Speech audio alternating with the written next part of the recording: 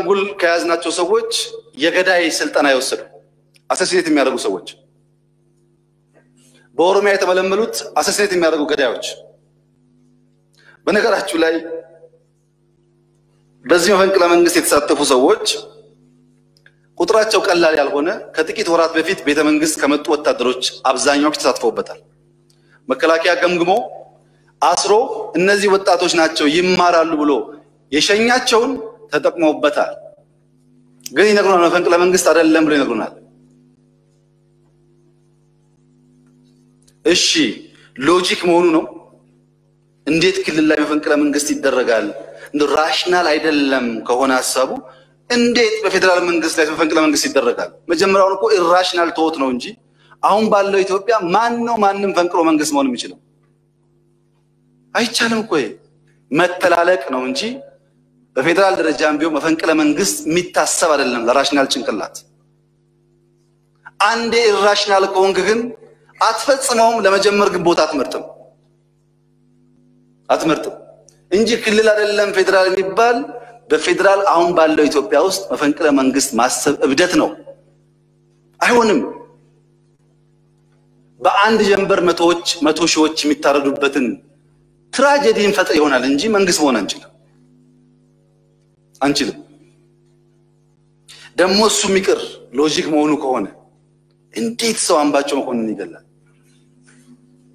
አምባቸው መኮንን እንኳን ልትገለው ልትቆጣው የሚያሳሳ ሰው ነው። አምባቸው መኮንን ለአማራ ሕዝብ የከፈለውን ታሪክ ያወጣዋል። ይህንን ፍልቅልቅ የገደለ ጭንቅላት ራሽናል መሆን አይችልም። አያውቀውም። ቀበሌ ላይም ወረዳ ላይ መፈንቀል የሚችል ይመስለዋል። እንዴት ሰው ሰዓረ መኮንን ይገላል? ሰዓረ መኮንን እንደ ዳቦ እንደ አበሻ ዳቦ ከታችና ከላይ እሳት እየነደደበት ጓዶቼን ቀብሬ የመጣሁበትን ኢትዮጵያን አላፈርስም እኔ ፈርሳለሁ ያለ ጀግና እንዴት ይገላል ሰው? እንደማንም ሰው መሆን እየቻለ ማለት ነው። የትግራይ ወጣቶች የገደልኩት ለኢትዮጵያ አንድነት፣ ለኢትዮጵያ ዲሞክራሲ ነው። ቃሌን አላጥፍም። የጓዶቼ አጥንት እና ደም ይታወሰኛል ያለን ጀግና በአደባባይ እየቀጠፈ ሌላው ስላልተሳካ እንዴት መፈንቅለ መንግስት ይባላል ይሉናል። መፈንቅለ መንግስት ነው። ይህ ህገ መንግስታዊ መፈንቅለ መንግስት ነው።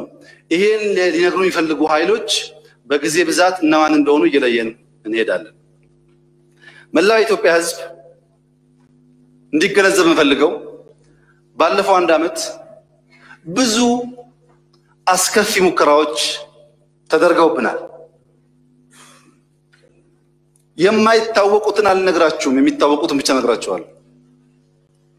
ሰኔ 16 ለውጥ አምጥተን ሁለት ወር እንኳን ብዛም ሳናልፍ ለማቀጨጭ በአደባባይ የምታውቁት ሙከራ ተደረገ።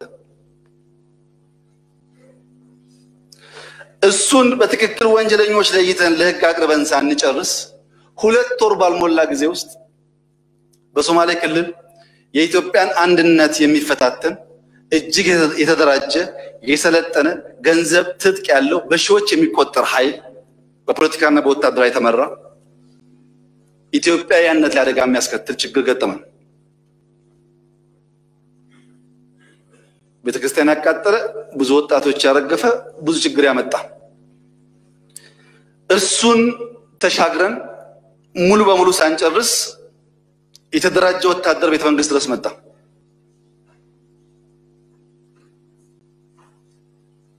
ያ የተደራጀ ወታደርን በምታውቁት መንገድ መልሰን ሁለት ወራት ሳይሞላን በምዕራብ ኢትዮጵያ በሶስት ወር መንግስት ሆናለሁ የሚል ኃይል ተፈጠረ። በሶስት ወር ውስጥ መንግስት ሆናለሁ ብሎ ምዕራብ ኢትዮጵያን የሚያተራምስ ኃይል ተፈጠረ።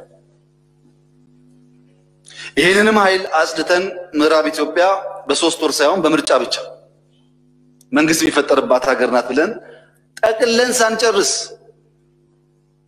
ከቦታ ቦታ ዜጎቻችንን እንደ በግ እየገፉ የሚያፈናቅሉ ኃይል ተፈጠሩ። ህፃናትን፣ ሴቶችን አፈናቃዮች ብለው ዘፈኑብን። እኛ ከመጣን የተፈናቀለውን ብቻ ሳይሆን ሳልመጣ የተፈናቀለውን በሙሉ ስንመልስ ግን በግድ መልሳችኋል።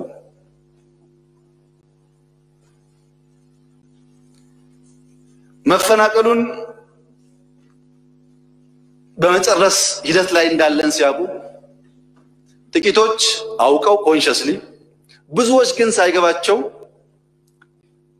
በሁለት እግሯ መቆም ያልቻለችን ሀገር የደሞዝ ጭማሪ በሚል ሰበብ አንዴ ጤና፣ አንዴ ትምህርት፣ አንዴ መምህር እያሉ ተደራጁብን።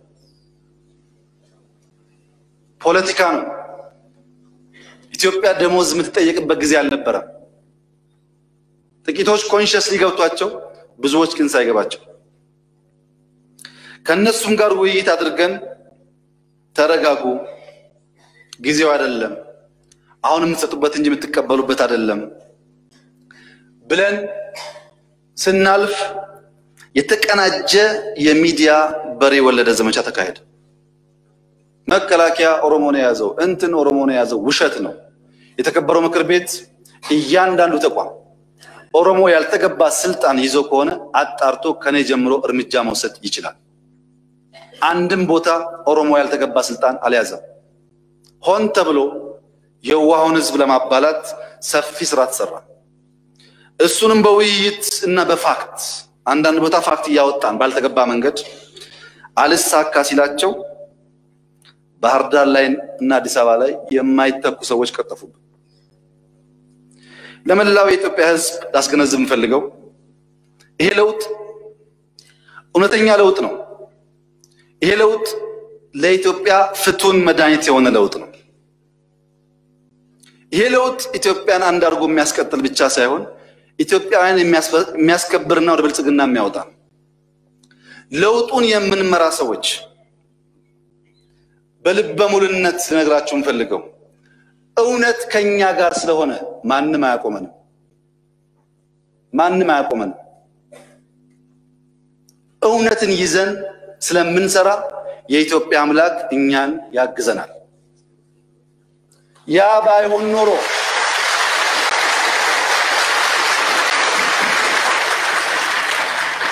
ያ ባይሆን ኖሮ እንደምታውቁት ቀለል ባለ መንገድ ከህዝብ ለመቀላቀል በእኔ ደረጃ ሙከራ ያደረገ መሪ የለም። ግን ጠባቂው የማይተኛ የማያንቀላፋ ስለሆነ ከንቱ ድካም ሆኗል ሁሉ።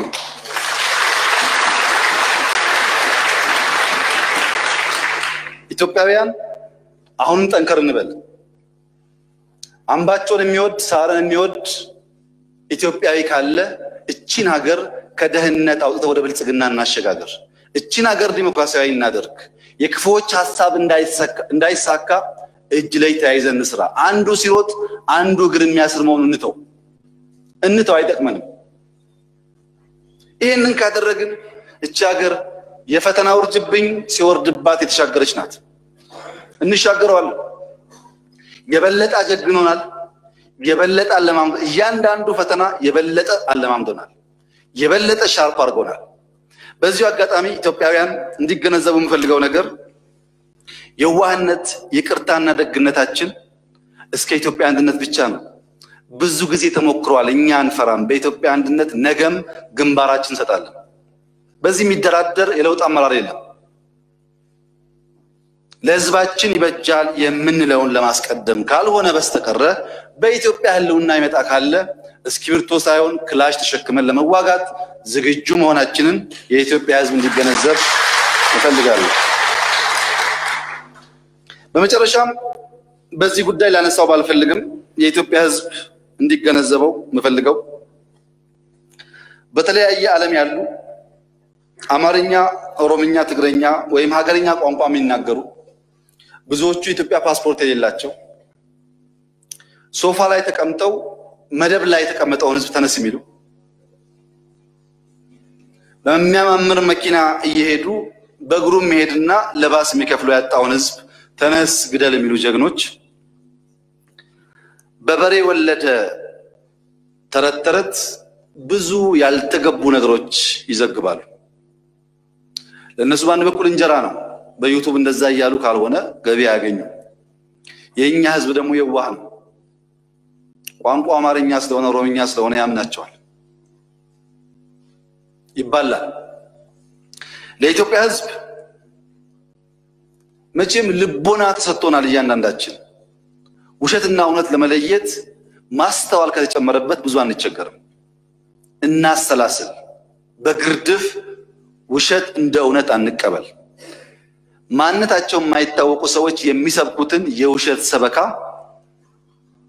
እና በሬ ወለደ ዘመቻ ኢትዮጵያውያን የማንጠር ብቃት ይኑረን። እናንተ በአውሮፓና በአሜሪካ ሆናችሁ ይህን ምስኪን ህዝብ ይህን ድሃ ህዝብ በውሸት የምታባሉ ምናልባት እናት አባት ያላችሁ እህት ወንድም ያላችሁ ምናልባትም ልጅ ያላችሁ እኔ እናንተን እዛ ልቆጣጠር የምችልበት መንገድ ስለሌለኝ የእውነት አምላክ የእግዚአብሔር አምላክ በእናንተ ላይ ይፍረድባችሁ ብቻ ነው። ስንት አይነት ክፉ መርዘኛ ኢትዮጵያዊ ቋንቋ የሚናገሩ ሰዎች እንዳሉ አይተናል። በእናንተ እግዚአብሔር ይፍረድ። ኢትዮጵያውያን ግን ከጥፋት ተምረን እንመለስ። አመሰግናለሁ።